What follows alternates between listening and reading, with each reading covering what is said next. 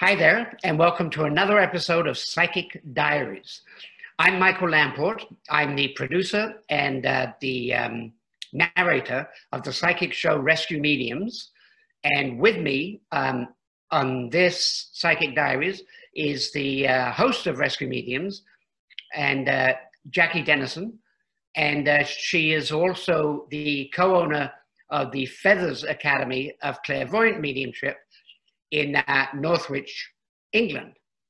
And we're lucky today to have with us Mr. Steve Furlong, who uh, is the other co-owner of Feathers Academy. And he's uh, also a clairvoyant medium, amongst many, many other things. Um, and it's great to have him here. And today what we're going to be talking about is uh, astral travel.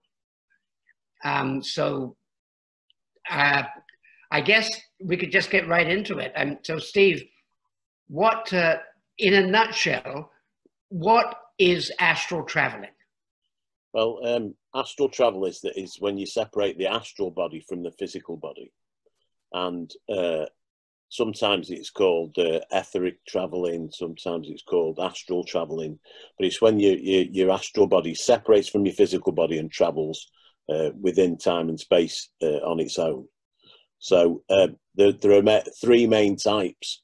Um, one spontaneous, where sometimes people don't intend to uh, to separate their astral body, and it just happens spontaneously. This happens sometimes when when there's a traumatic event. So if there's an accident or somebody has something that's that's really frightening, and they end up looking at themselves in the situation, and that's a spontaneous uh, astral separation. Uh, then there's uh, an unconscious one, which which tends to happen when people are asleep or as they're dropping off to sleep, and it, it they, they, separate uh, unconsciously, where the, the, there's no there's no effort involved at that in that at all. Um, and then there's meditative, which is is sort of um, I I sort of call it uh, doing it on purpose. So it's intending to do it rather than doing it by accident.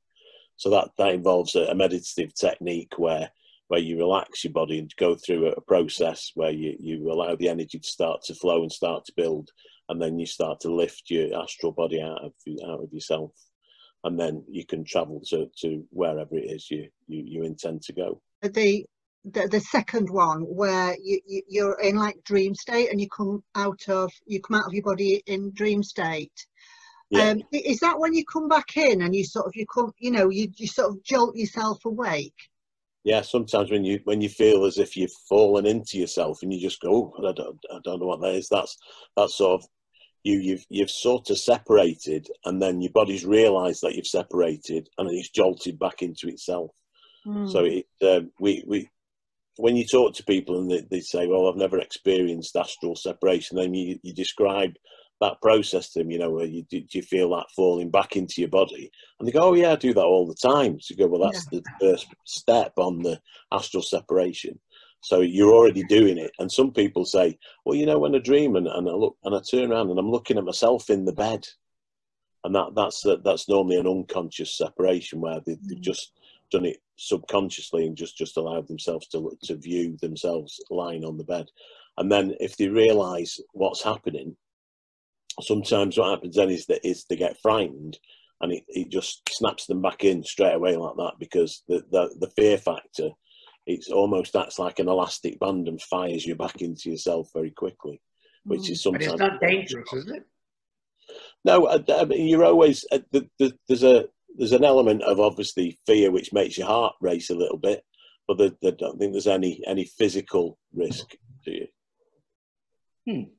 So you couldn't you couldn't um, not come back into your body. you know, no. I've got this image of you know somebody hovering there like this, waiting that's, to that's the question that, yeah, that's the question that probably comes up most is that that when people say, "Oh, well, I'm frightened I might get stuck there, or I might not be able to find my way back," you know, if I go somewhere else.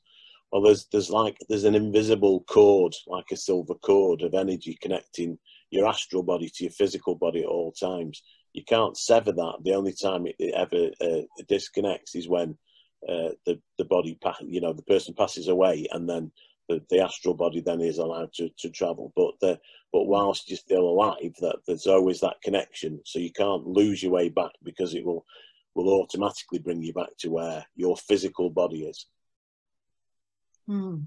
But it, it reminds me of um, a song from um, the Moody Blues a few years ago uh, called Timothy Leary's Dead. No, no, no, he's outside looking in. He'll fly his astral plane into trips across the bay and take you back the same day, Timothy Leary. that, that's the first time I've ever heard, heard that one. Though. I'm far too young, you no. see. That's what it is. But you know, Steve, that's a bit like your experience, isn't it? Because I know about your first experience with astral travel because we talked about it, this before you. It's, it's um, it was a long time ago now. That uh, with me being so young, it, it's still a long time ago. Um, when I was about, uh, I was about fourteen, and uh, we came across a booklet in an abandoned house. You know, the the the uh, the spooky abandoned house, and it'd been abandoned for years. But there was lots of, of, paraphernalia in there for booklets and stuff. And we found one that was was all about uh, astral traveling. And uh, me and a friend of mine, we were we, we read it and we were really into into it, and we thought we'll keep trying to do this, and we kept trying and kept trying, and, and nothing ever worked, and we couldn't we couldn't get get it to work properly. So um, I was waiting to to go out one one early one evening to meet my friend, and, and I thought, well, I've got half an hour, uh, so I'll uh, I'll just have a go at this astral separation thing again. And I think because I wasn't expecting it to to work, and I was just relaxed, and just wasn't really trying too hard. Um, it actually I, I, separated, and I found myself traveling to my friend's house. Uh, and I went in through the. It was in the days when back doors were always open, and I went in through the back door, and I always used to call his mum and dad mum and dad because he, he, I always felt weird calling him Mr. and Mr. Mr. and Mrs. So I went in and, and uh, just popped my head around the living room door, as I always did, and went, Hi, mum, my dad. And, and then went up to my friend's room and I spoke to him and I said, This is really weird because I'm doing the astral traveling thing. And he said, Yeah, yeah, whatever. And I said, No, no, I am really. And he said, No, no, you, you're just having me on. So then something uh, caught my attention, and it, it, was almost like, like I said before, it was like a, an elastic band, and it snapped me back really quickly, and I, I, I, felt myself just whizzing through the air. And the next thing I was, I was back in my room, lying on the bed. So I, uh, I jumped up off the bed and ran downstairs. In the days before mobile phones, I had to use the house phone, and I, I dialed my friend's uh, number. His mum answered, and I said, "Is he there?" And she shouted him down. He came down to the phone and he said, "How did you get home so quick?" And I said, "I was doing this astral traveling." And he said, "No, no, no." I said, "Well, I'm phoning you from home. Phone me back." So he phoned me back on my number to confirm that I was at home. And he said, "Oh no, you'll have to come round now." So I, I rode round to his house on my motorbike, which was about ten minutes away by bike. And we had this this this long uh, discussion, and we were trying to discover what we what I'd done differently uh, that time than any other.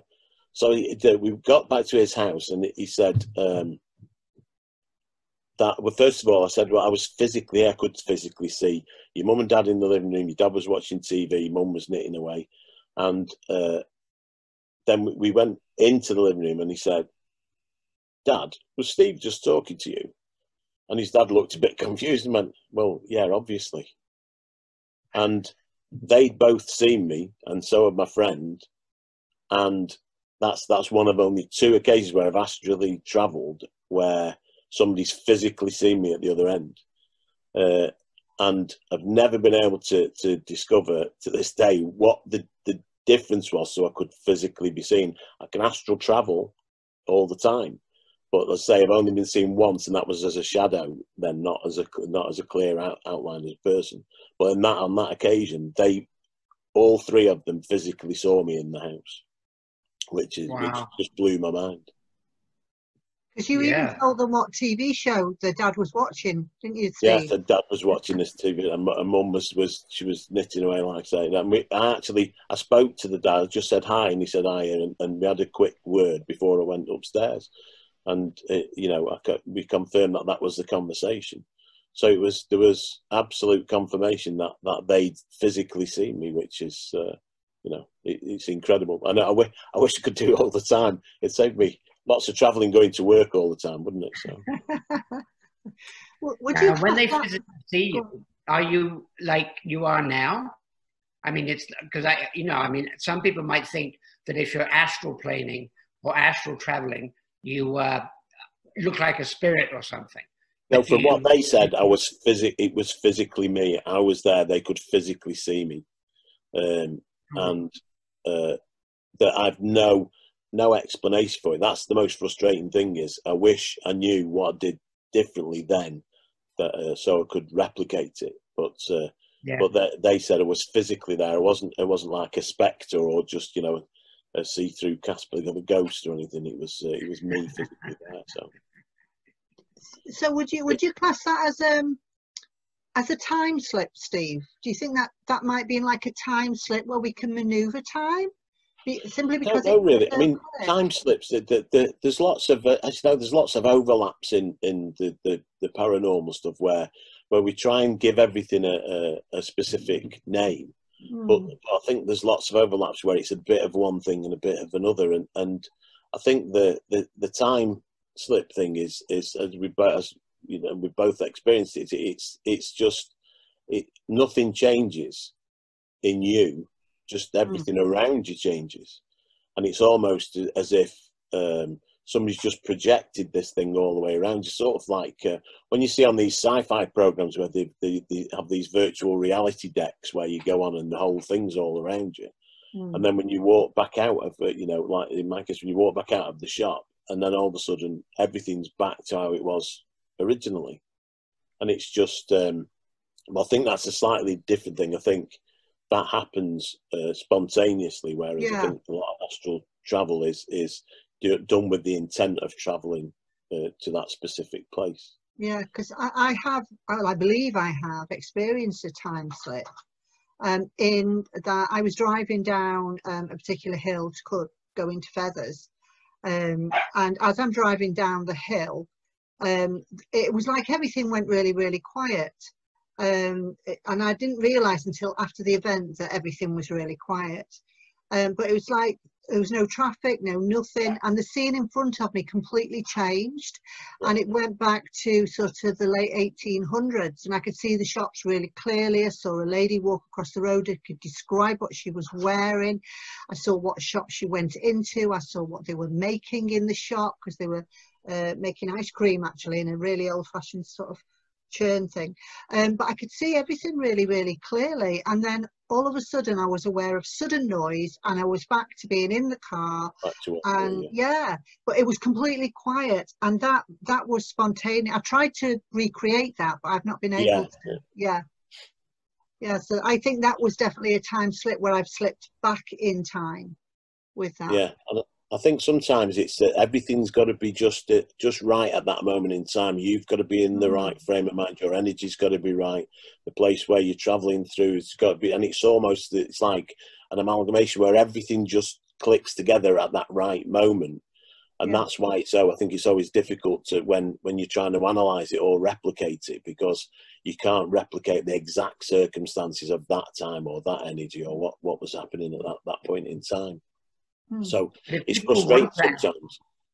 But if people Sorry? want to astral travel, so so the way to do it, you, are saying would, the best way to do it would be to sort of uh, meditate and then try to project yourself from that.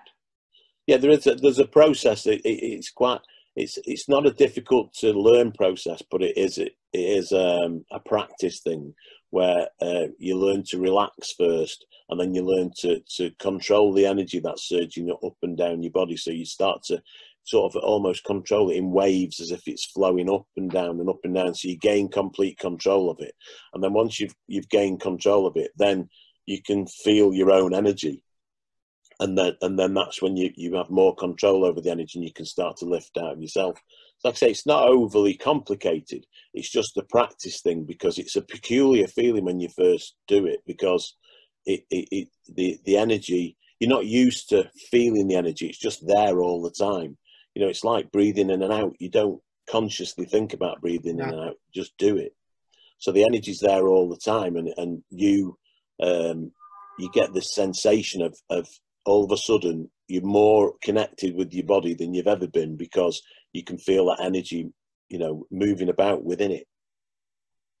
Mm. So it's it, like I say, it's not it's not a difficult process. It's just practice, practice, and and the, one of the most important things is you've not got to try too hard because if it sometimes it's a bit of a catch twenty two. You desperately want to do it, so you're trying harder, which makes it less likely that it's going to happen. So, and I think that's that's when when my first occurrence happened. That's what I learned is that I, I, wasn't bothered whether it happened or not. I was just relaxing and and you know just chilling out, and then the next thing is it, it, it all fell into place. So it's it's about just really getting into that relaxed state and, and, and allowing it to happen. Wow. Would you, would you say that is um, the same as uh, remote viewing then, Steve? If you were to project yourself to a particular place, so you set an intent to be in a particular place, just like an experiment. Just say, for example, uh, you decided that you want to go and have a look at the shops in the high street. Uh, and so you, are thinking about astrally traveling to that place. So that's your intent, just yeah. as an experiment. Um, would you say it's, it's like is that another word is that an, another phrase for astral travel then to, to remote well, yeah, I think, I think remote viewing there's there's there's the designation of remote viewing which which we're given to by by scientists and there's a, a two different types of remote viewing. One's controlled remote viewing which is basically uh, the person doesn't have to do a, a, a meditation doesn't have to relax basic the the CRV, as they call it, is just they sit at a desk with a piece of in a blank room with a blank piece of paper and a pen, and they just uh, allow their technically, I suppose they allow, they allow their mind to connect to the place that they're going, and then they mm. just remotely start writing uh, the information down, and then it, it can be confirmed or otherwise later. And I think from from some of the information that I've read about the uh, um, the the uh, American military, that the American intelligence, that when they did it, they they had a program that was running from I think 1972 all the way up until 1995, and they spent billions on researching it because obviously it'd be a great tool to you know if you didn't have to send a spy out uh, yeah. to, to see somebody, if you could just send somebody remotely to to go into the you know to spy on the meeting or to get a document or whatever, then. Yeah. Uh, it would be a, it would be undefensible for a start. You know, you, you couldn't defend against it because somebody could just pop in at any point. Mm. Um, but there, the the other type of remote viewing is very similar to uh, astral traveling, where you they settle down, they do a meditation, they get relaxed, but they're, they're given a specific point in time and place to go to. So it's uh, coordinates uh, and a time when when they need to be there. And this is where the, the some people find it difficult to accept what, that you can travel within time and space. But when we're, we're we're always it's always difficult because we're always thinking about us as physical beings. We can't do certain things.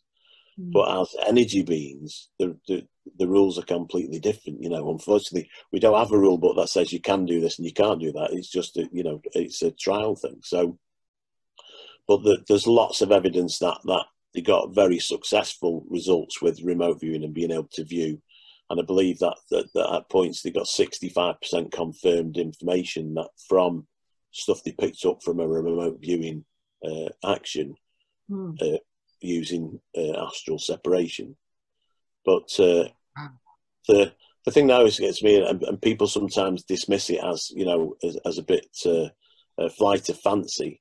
But the, my uh, my thought is is the Americans and, and the Russians both spent billions on researching it, uh, and they wouldn't do that if they they weren't getting any results. It'd have been, mm-hmm. soon been stopped if they were getting no positive results out of it. So, yeah. despite the fact that the Americans released, as they say, all their information in 1995, they only released, I think, what they wanted to release, uh, just to get because there was lots of people asking questions about it at that point. So to get people off the bat, they released, I think it was about 45,000 different documents just to, you know, to, to placate the, the people that were asking all the questions.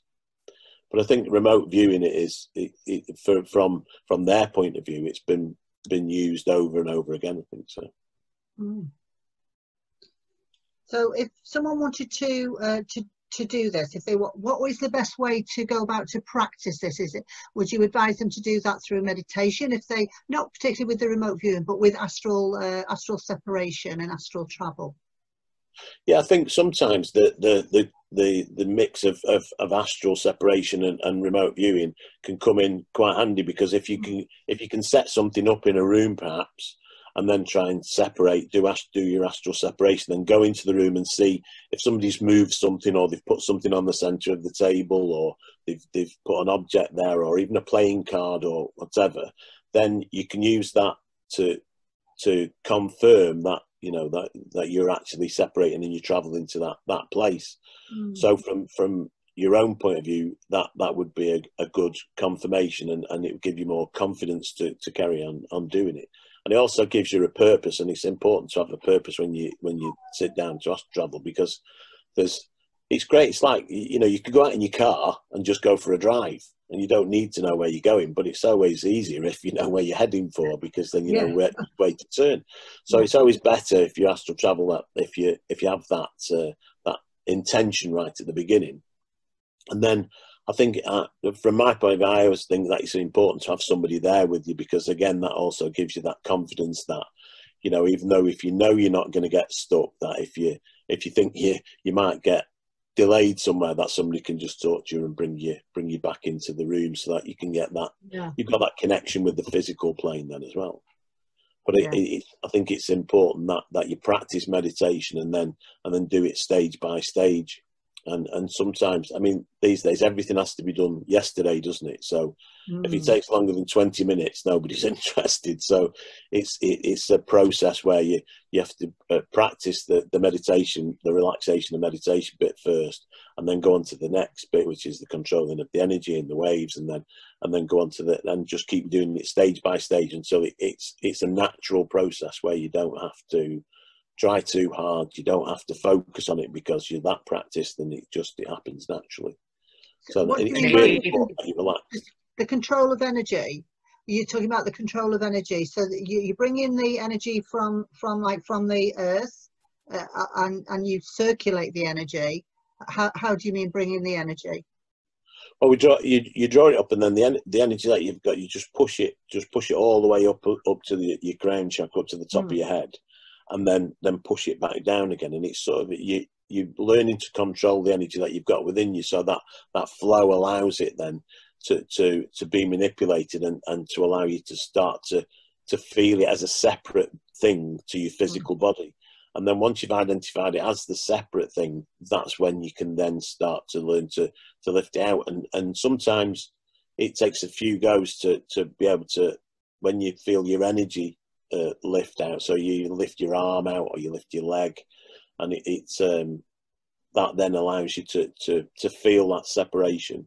And it is a peculiar feeling at first, but it's not an uncomfortable feeling. So it's just something that takes you by surprise. The first time it happens, normally when somebody does it, they jump and then it, the, their energy falls back in because it, they, they want it to happen, but they're not expecting it to happen. Yeah. So once you've got control of that energy, yeah. it, it's uh, it's much easier to then separate from your your physical self. But if if everybody does get into astral traveling, um, it's going to put uh, platforms like the one we're using, Zoom, out of yeah. business because we we won't need to communicate like this. yeah, we'll just just astrally travel and go go to a meeting and and uh, all sit around the table astrally traveling. Yeah, so it, uh, it may make uh, air travel a bit uh, useless as well, then, wouldn't it? So, yes, it would. Just visit wherever you want to go. Well, I, I know, Steve, that you actually uh, did travel from one country to another, didn't you? You astrally travelled from England to Canada at one point. I did. Uh, um, when uh, Lisa, my wife, still lived in, in Canada, I uh, I was astrally separating, and I just thought, I wonder if I could travel and see, not in a not in a creepy way. Well, yeah, right. visit, visit and see uh, uh, Lisa, and uh, I travelled to a, a, house and and uh, uh, I visualised what was going on there. So when I came back out of there, I wrote as much as, of it down as I could remember, um, so I could then ask her to confirm. So I asked her what, what was happening at that time, and she went through it all. And I said, "Right, I'm going to send you something now, which is probably going to freak you out." And I sent her the, the what what I I'd already written down, and I, would seen her, and she was she was lying on on the sofa having a nap, and she she'd said that what she saw at the end, she thought it was because she was working with spirit and meditating, and she saw a, a shadow at the end of the sofa, and that's where I was stood looking at her. So that's the the only second time where where I've physically been seen. But that time was just it was just a dark shadow. She couldn't tell it was me. She could just see the shadow, and she thought because she was meditating that that it was somebody in spirit that was just coming in close. But and she married me. you. Eh, she married you anyway. Me peeking.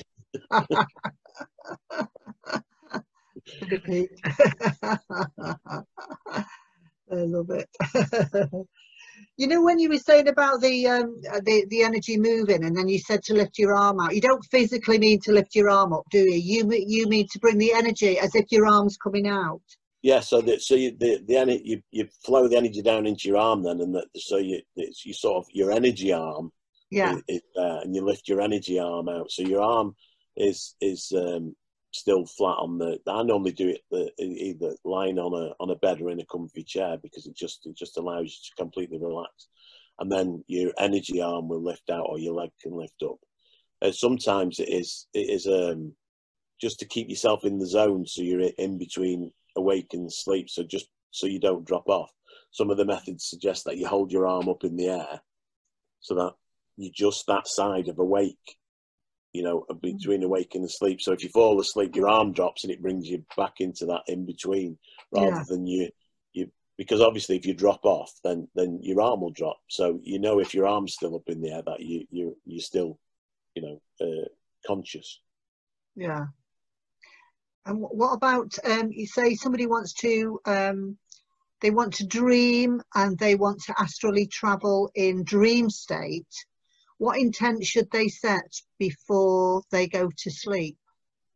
Sometimes between dream and, and astral separation, there's there, again there's that overlap thing, but mm. um, there's there's a difference between lucid dreaming uh, and astral separation because lucid dreaming really is is uh, you're already asleep and you become aware in your dream that you're dreaming, so you hmm. become conscious of the fact that you're in a dream. Yeah. Whereas astral separation, you, you're conscious of that at all times. Mm. So sometimes you can, like, like we said before, you can spontaneously uh, um, astrally uh, separate because you're in dreamlike state, so you're just in between. But it is normally when you're just in between awake and asleep rather than when you're completely asleep. Mm. And the, the the easiest way to tell if you're lucid dreaming or whether you're astrally traveling is is to try and change something within your dream. Because obviously, in dream state, if you want, you know, if there's a, I don't know, uh, if there's an apple on the side and you want to change it into a, a, a watermelon or a, you know, a duck, doesn't matter what, what you want to change into, you can do that in your in your dream. Mm. Whereas it, when you when you astral travel, you can only see the things that are there. Mm. So it's it's only it, it's it doesn't matter what you want to be there when you're astrally traveling. It's what's physically there is physically there. You can't change it. Mm. So that's um, that that's the easiest way to tell the difference. Because if you think, well, hang on, I don't know if I'm dreaming now or whether I'm doing this really. Just try and change something obvious, uh, and if it changes, then you're obviously still in dream state. That's not to say you can't then go on to astral separate, because then you're conscious of the fact that you're in dream state. So you, right. you can then try and process and, and move forward that way. But uh, but it's it's the easiest way to to identify. You know, if uh, if you go to the shop and the guy behind the counter all of a sudden has got a wolf's head, it tends to be dream state, not astral separation. So. Uh, I, I, want to just bring in something else, unless Michael's got any more questions about uh, astral travel. I, I would like to just bring uh, in uh, just a couple of more things that uh, that I know uh, about you. And one, one of the, those is that you um, have a Cantonese guide that you work with uh, very closely, don't you? Yes, his name um, Lau, and he's, Lau. he's very specifically Cantonese. Yeah. He gets very offended if you say he's Chinese because uh, he he fought very strongly in his lifetime mm. uh, against the Chinese taking over Canton. So um, he uh, he's been with me. Actually, he, he, I don't know if you remember, Jackie. He arrived the day that I arrived at Feathers, the first meditation I did at Feathers. Although he'd been there in the background, he stepped forward and he said, "Okay, now I'm working with you now." Um, and before that, I did a different guide that had been a, a little bit uh, less on my wavelength, whereas Lau has has my sort of uh, sense of humour and uh, and, and uh, my energy, I would suppose, really. Yeah. So we we work really well together, and uh, he uh, on the meditation uh, CD that we, that we have, it, uh, he dictated the music to me, um, mm. and uh, it was I, I was in the car, and he said, "This is your meditation. This is the music to go with your meditation." So he started singing. I said, "Well, I, I, I, I don't know how I'm supposed to save this." So the only thing I could think was to put record on my pull over. I put record on my phone, and he was singing it to me, and I was singing it into the phone. So then I thought, well, I've got to get somebody to play this. So I phoned a, friend of mine, Andy, and said, uh, "This might sound really weird, this, but, and I told him the story that my guide had sung this song to me and I'd recorded it. And he said, no, that's not the weirdest thing I've heard. So I don't know what the in, in recording studios, but, uh, but I played it to him and then we went through. And whilst he was playing it, Lau was saying to me, no, no, it needs to go slower there. It needs to go, needs to go higher, up. It goes up there, not down. It goes up. And all the way through till we got to the end of the, the piece of music. And when we recorded the, the music and then put it we put it on the internet for people to be able to use and without any not no purpose whatsoever the, the meditation music ended up being 11 minutes and 11 seconds long mm. uh, and th- that was until we put it uploaded it we had no idea that's how long it was yeah. um, and we've used it in workshops and meditations ever since and people say it's sort of um, the music starts to relax you before you're even doing the relaxation because it it's almost uh, it almost matches the breathing pattern and just slows it down and slows your heart rate down as you're doing it. And I find it uh, I can't play it in the car or anything because I, I, find myself just going all relaxed and just.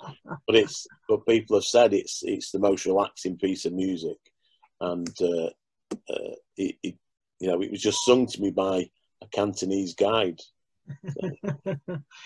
I love how he works with you in that way because he's um, he got you to, to do a, diff- a different one, uh, didn't he, for um, a, a, show uh, that you're still working on now? Was you still doing? Oh yeah, yeah. Well, that show.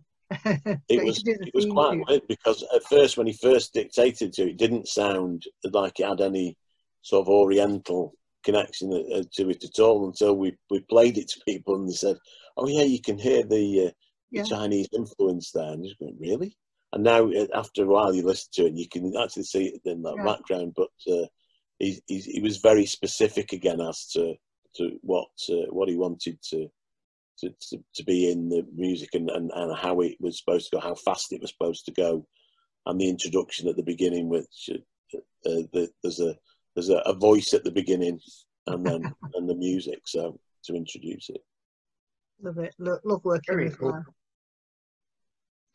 He's, great, really. It, it, when I, when I work with him, uh, you know, in, in, other when we do rescue work and when we do mm. reading like that, that um, he appears to me differently as well. Because when we're doing serious work and it's we know we're down to work and that we've got to get on with it now and it's very yeah. serious, he appears much older. Whereas when we're having a light-hearted moment, perhaps during a workshop and we're, we're having a bit of a, a, laugh with the, the students and everything, that then he appears much younger because he's, he's a hmm. bit more mischievous than he's, uh, you know, and he, uh, he's more he's more sarcastic than, than than anything at that point when he's young. Oh, very so. suited to you. yeah, it, gives gives me some of my own medicine. Yeah. yeah. yeah, it's a different form of time travel, really. That isn't it? If we think of time, we think of time as as human beings, we have times like we have the uh, it's time to go to work, it's time to go to sleep, it's time to get up. We, so we, we, we measure things by time, but there's no time really in the universe or in the spirit world or anything because you're saying that sometimes Lau appears to you as a, a younger person with a different vibration and sometimes as an older uh, person so it's like he's skipping through time to give you the best of his advice at that particular time yeah i think um, sometimes that that the the energy that he brings you can almost feel the difference you know where there's there's a there's a much more there's a lot higher energy when when he's when he's younger, and he's mm. much calmer and and much more state uh, as he comes through as this old, older person, and he he really. You, you can really feel the difference when he's when he's okay. We're we're working now, serious. We we need to concentrate on this one because that you know we, we've got got some work to do. There could be a problem here. We need to resolve this. Yeah. So that's it, it's it's almost as if his calmness just reflects on me, and then it, it just makes you deal with things much easier, much more easily because uh, you, you're calmer, your energy's calm, and and then the the energies that you're working with, you know, as you know, pick up on that, and the, and the calmer you are, the calmer they'll be. So makes things mm. easier. Mm. That's fascinating. Yeah. Do you, do you think you need um, to have a, a, a, your spirit guide there if you are practicing astral travel, for example? I mean, uh, I would say so, but I, I, I, like Lau to be there when, whenever I'm, I'm doing anything to do with uh, uh, uh, working with energy or spirit because I, I trust his judgment completely. If he said to me at any point during a, a you know an astral travel or an investigation or or you know any any anything at all, if he said stop, then mm. I would stop straight away because yeah. I, I, trust his judgment completely. And he knows more than I do because he, he's got a, wider view than I have. I can only see the physical world, you know, as he can see all aspects, you know, so he knows mm. sometimes what's coming that, that, that we can't see, you know, and, and as you know, in, in rescues in the past, you know, our guides have said, you know, right, just be careful now, there's something coming that's quite negative yeah. and, and you, you're then prepared. And we've gone to, to rescues before where we've arrived at the, the property and, and one of our guides said, okay, extra protection on for this one. Mm. And, and you know straight away that, that there's something, you know, it's going to be a serious one. So, yeah, you know, trust them completely. And I think that that's part of the, the development as a, as a medium or working with spirit is when you come to trust your guide completely and you know that they'll never steer you wrong, mm. then you, you've you know you've you've you've got to the point where you don't need to question them. If they say to you, you need to say this, you just know that you need to say it because that, that you can trust them completely. Yeah. So it's um it's it's a it's a relationship process as well, and I think that's part of the thing sometimes with people is they forget that it's it's a two way street. You know, mm. you can't just communicate with your guide when you want something you know so it's it's sometimes meditate and commune with your guide for no reason whatsoever just because you know it'd be like phoning up your friend and you only phone them up when you want to borrow something or when you yeah. want them to do something for you yeah you know it's uh it, it's you have to have that connection that relationship with your guide so that you know it, it's a two-way street so you're both giving and, and receive from each other so mm-hmm. well i hope people that are watching this um, do have some meditation aspects and see if they can astral travel because it would be a fascinating experiment for them. Yeah. Yeah, yeah I mean, there's lots of information there on the internet. You just have to be careful about which bits, you know, be sensible and read read lots of them and, and sort of dismiss the, the more uh, uh, out there uh, advice. But most of them give you advice.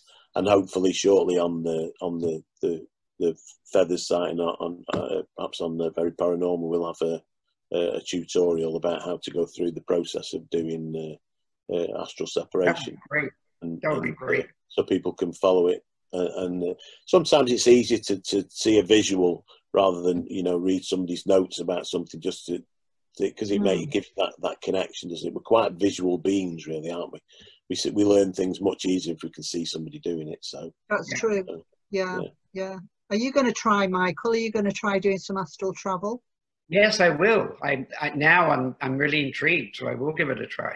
Yeah. Well, if you want See to what pop across now, I'll put the kettle on if you want. That's a very good idea. And on that note, I think we should say thank you, Steve. It's been absolutely fascinating. Um, and uh, we'd love to hear of, you know, people trying this and, and uh, they, they can uh, write in, let us know how they get on. If they've got any questions for you, perhaps we can have you on again and we can talk about this and other subjects in the future.